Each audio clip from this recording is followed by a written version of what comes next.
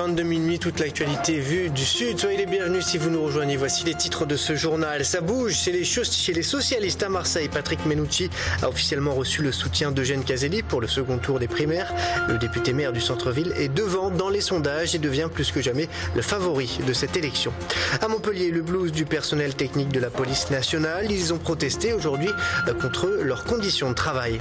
Le gouvernement, à nouveau secoué par une polémique autour de la question des Roms. Cette fois, c'est l'arrestation et l'expulsion d'une collégienne qui fait scandale. Et puis, euh, dix ans après le lancement du projet, la bergerie des Gorges du Gardon a été officiellement inaugurée euh, fin de semaine dernière. Reportage à la fin de ce journal.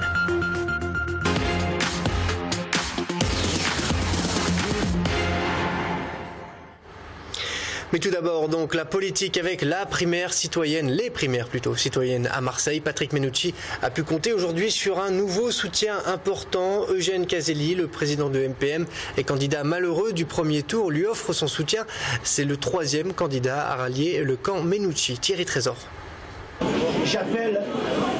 À voter pour le deuxième tour des primaires citoyennes pour Patrick. Le soutien d'Eugène Caselli reste peut-être le plus étonnant. Le président de la communauté urbaine MPM avait pourtant déclaré il y a peu de temps que Patrick Menucci ne serait jamais maire de Marseille. Et on a encore en tête la passe d'armes entre les deux hommes lors du deuxième débat sur LCM au sujet de la propreté et de l'influence du syndicat Force ouvrière. Eh bien, on se grandit en disant la vérité, alors dis-la. Mais c'est ce que j'ai fait.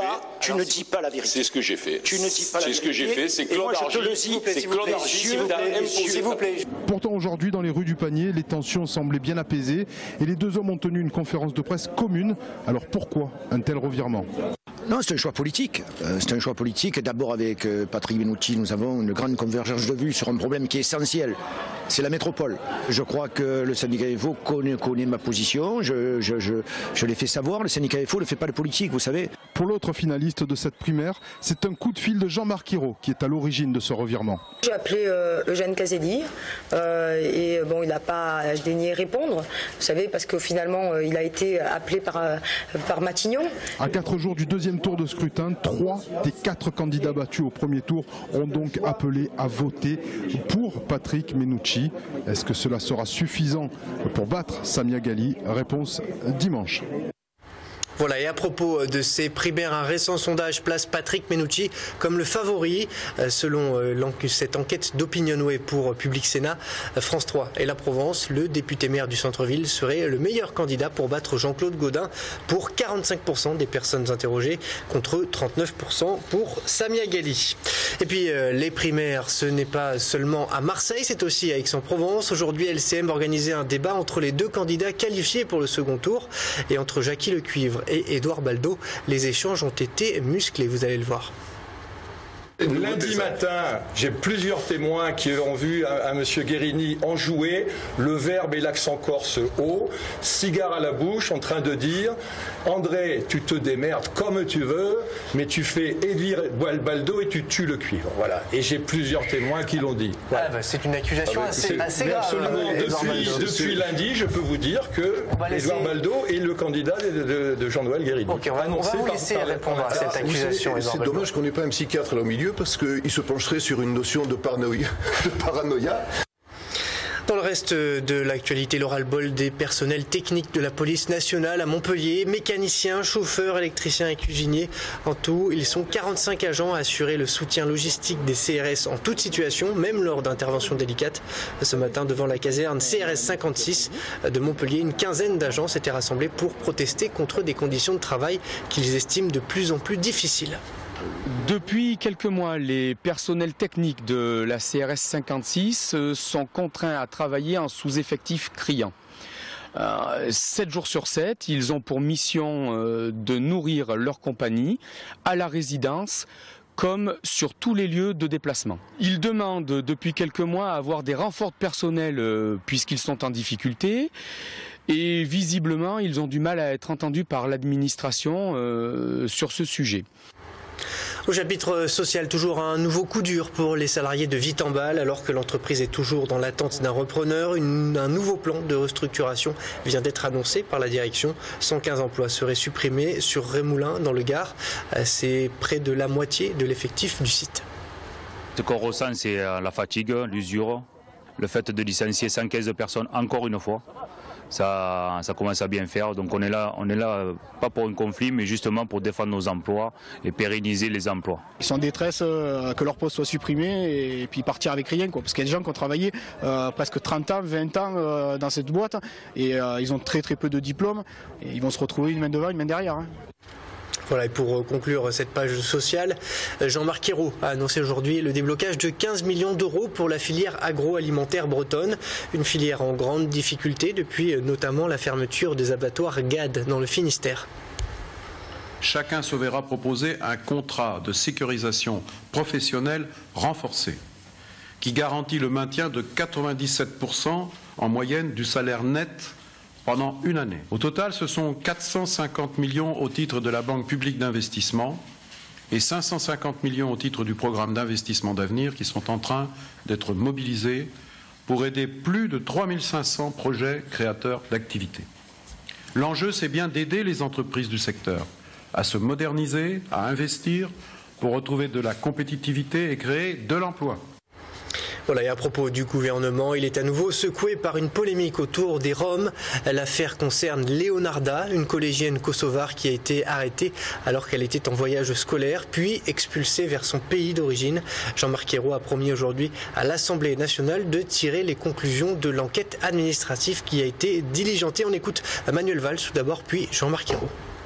J'ai demandé à l'inspection générale de l'administration, dans les délais les plus brefs, de mener euh, une enquête pour euh, établir les faits concernant euh, ces procédures à l'égard de cette famille. S'il y a eu faute, l'arrêté de reconduite à la frontière sera annulé. Cette famille reviendra pour que sa situation soit examinée, réexaminée en fonction de notre droit, de nos principes et de nos valeurs. On passe au reste de l'actualité avec le résumé préparé par Sophie Jeanroy. Définitive de l'Église de la Scientologie pour escroquerie en bande organisée. La Cour de cassation a rejeté le pourvoi de l'Église contre sa condamnation en appel, mais l'organisation ne compte pas en rester là. Elle va déposer un recours devant la Cour d'appel des droits de l'homme. Si l'Église de Scientologie est une religion aux États-Unis, elle est considérée comme une secte en France. Pour rappel, la Cour d'appel de Paris avait condamné les deux structures parisiennes de la Scientologie à des amendes de 200 000 et 400 000 euros. 20 kilos d'aliments jetés par personne et par an. La France veut diviser par deux le gaspillage alimentaire. Le ministère de l'Agriculture et de l'Agroalimentaire a lancé la première journée nationale de lutte contre le gaspillage. Le gouvernement a choisi cette date du 16 octobre qui fait écho à la traditionnelle journée mondiale de l'alimentation. En termes d'argent, cette nourriture gâchée représente une perte de 400 euros par habitant chaque année. Chapeau l'artiste et adieu. Les obsèques de Patrice Chéreau se sont déroulées aujourd'hui à l'église Saint-Sulpice à Paris. Des personnalités du monde du cinéma et de la politique, telles que Jane Birkin ou François Hollande, sont venus rendre hommage au réalisateur. Patrice Chéreau est décédé le 7 octobre dernier d'un cancer du poumon à l'âge de 68 ans. Il avait donné son dernier spectacle cet été à Aix-en-Provence. Retour à votre actualité locale. Dix ans après le lancement du projet, la bergerie des Gorges du Gardon a été officiellement inaugurée fin de semaine dernière. Cette structure a un double objectif, relancer le pastoralisme et servir d'outil d'apprentissage pour les jeunes et les moins jeunes. Reportage Olivier Michel. En 1857, le petit village de Colias comptait quelques 2500 moutons, mais en 1990, plus aucun. Une disparition qui n'a pas été sans conséquence sur l'environnement. Voilà pourquoi le syndicat mixte des gorges du Gardon a décidé de relancer le pastoralisme en implantant une nouvelle bergerie. C'est déjà euh, l'entretien des milieux euh, dans la garrigue, donc la réouverture des milieux, l'entretien gratuit dans la garrigue par les moutons, euh, pour donc réussir à enfin, diminuer les risques d'incendie et puis également augmenter la biodiversité dans la, dans la garrigue. Il y a des petits gibiers qui s'y développent. Je pense notamment, ça peut être évidemment, on pense au lapin, mais pas que, de, tout un tas de petits gibiers. Et ce petit gibier, ben, c'est la nourriture d'un certain nombre d'espèces que l'on protège. Je pense à l'aigle de Bologna, à tous les rapaces, le milan, tous ces rapaces qui qui sont très présents sur les gorges et qui du coup trouvent une nourriture plus facilement et donc se réinstallent d'autant plus facilement dans les gorges. Autres bénéficiaires, les enfants et adultes des communes environnantes car dans un souci d'éducation à l'environnement, cette bergerie va revêtir un caractère pédagogique. Ils ne savent pas faire la différence entre une chèvre, une brebis, une poule, un coq. Euh, ils y comprennent rien. Quoi. Tout, ça, moi, ça me plaît. Quoi. Donc j'aimerais bien, voilà. Et puis ça, c'est pour aussi euh, peut-être dans le futur des, futurs petits bergers. Hein. Il, commence à en manquer en France. Hein. Faite de pierres de verre et châtaigniers, cette bergerie a coûté 450 000 euros. Elle est louée à Pierre Grand, qui en contrepartie a dû s'engager à faire paître ses bêtes trois mois de l'année sur ce site, certes moins nourrissant que le camp des Garrigues, mais des plus confortables pour l'agnelage. On passe à l'actualité internationale avec Le Monde en 120 secondes.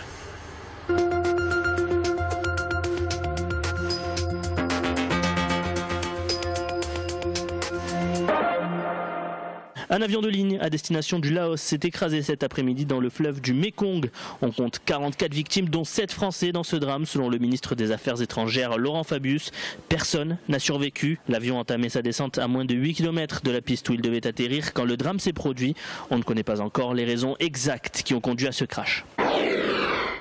La région du sud-est du Japon balayée par un puissant typhon. Selon les experts, il s'agirait de la tempête la plus dévastatrice depuis plus de 10 ans.